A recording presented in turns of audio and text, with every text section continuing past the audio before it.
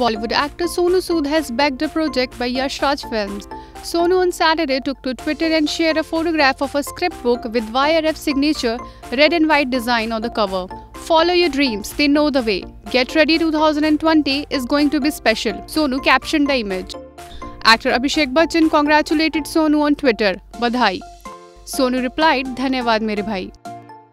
When IANS tried asking Sonu about their project, the actor declined to comment. Details about the film and his role are still under wraps. He was last seen on screen in the Ranveer Singh starrer Simmba.